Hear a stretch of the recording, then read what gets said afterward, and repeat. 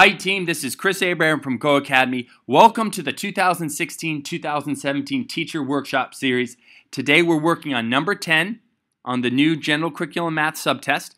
This is a nice problem. It involves fractions, decimals, and percents. Some really core ideas that you'll see on all the elementary and middle school teacher certification exams out there.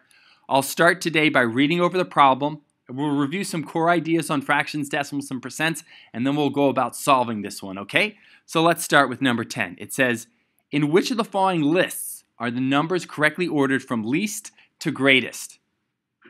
Let's look at this right here. We have these four options, A, B, C, and D. And we're trying to uh, organize them from the smallest or the least to the greatest or the largest. Now, we can jump right into starting to solve this. And that's, uh, that's definitely something that we're going to do. Um, but I think, you know, before we start evaluating this, let's just take a, a, quick moment and let's review these numbers that we see here. And just really quickly, these numbers you'll notice are fractions, decimals, and percents. So uh, let's let's review some of those core fractions, decimals, and percents because you, you see these numbers so often on the test. It's worthwhile to do this. Like one very popular fraction you see all the time is 1 over 1. And that's equivalent to 1.0 as a decimal or one whole. Now, if we want to convert a decimal to a percent, how do we do that again? How do we convert that decimal to percent? Well, we move the decimal over two spaces and drop it and add in that zero. So one whole is equivalent to 100%. Just reviewing this core stuff. Let's continue. 1 half is equal to 0.5 or 50%. 1 third is equal to 0.5 3, 3, 3 repeating, or approximately 33%. Just reviewing this core stuff, super important. 1 fourth, 0.25, 25%, 1 fifth, 0.2, 20%, and last but not least, 1 eighth. Everyone's got to know this. 0.125 or 12.5%. Now these are core fractions, decimals, and percents. Very, very important numbers. It's really important that you memorize these numbers and you see that one can be represented as a fraction, as a decimal and percent, and you see these simultaneously all at the same time. So someone says 50%, you see one half. Someone says one third, you're thinking 33%. Someone says one fourth, you think 0.25. Very, very important that you see these numbers and can interchange them. Now, let's, let's apply this to the problem itself. You don't have to do all the conversions out. I would say you only have to do the first three.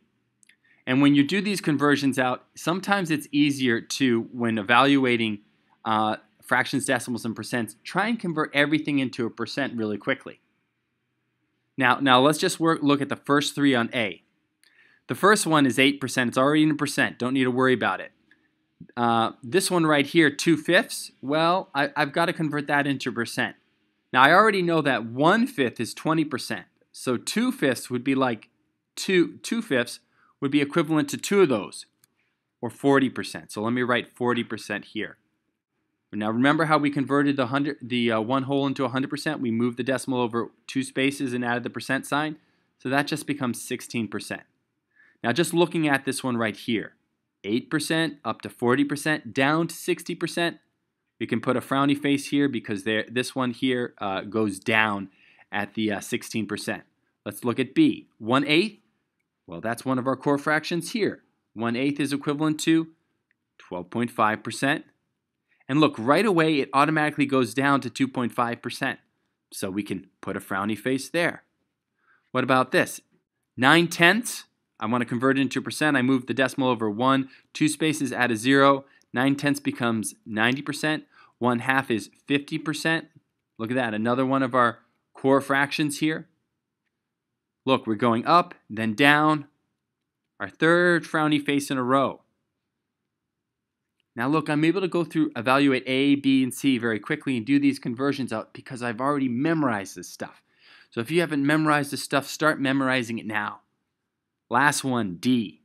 Well, we're at 130%. Then we get to 8 fifths, which could be thought of as 5 fifths plus 3 fifths. 5 fifths is 1 over 1. That's, that's one whole. Or 100% plus 3 fifths. Oh, that's, that's three of these, right? So if 1 fifth is 20%, 3 fifths is 60%. So this one right here, 8 fifths is really 160%. 2.08, well 2.08 is like is like uh, two wholes. Two wholes would be 200%. So 2.08 is 208%. This last one, 10 thirds, could be rewritten as 9 thirds plus 1 third. 9 thirds?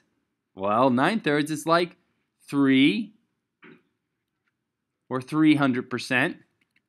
And the 1 third is one of our core fractions is 33%. So this one right here is 333 repeating 333 and a third percent. The answer here is D. Big smiley face on D. And look at this.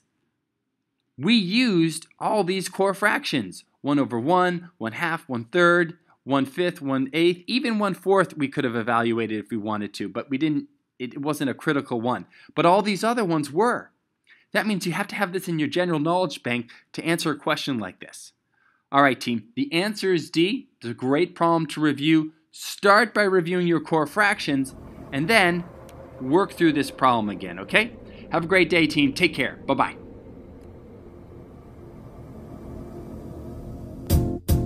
Hi, team. This is Chris Abraham from GOH Academy. Welcome to the 2016 Teacher Workshop Series. This year, GOH Academy is holding a whole new round of workshops in math, science, English and history, early childhood education, foundations of reading, ESL and SEI. These are hands-on workshops designed to help teachers pass their teacher certification exams. I encourage you to check out an upcoming workshop. We're holding them in Massachusetts, New York, North Carolina, Florida, California, New Hampshire, Vermont, and a couple other states. Check out our workshop. I'm sure you'll find them very helpful. Take care.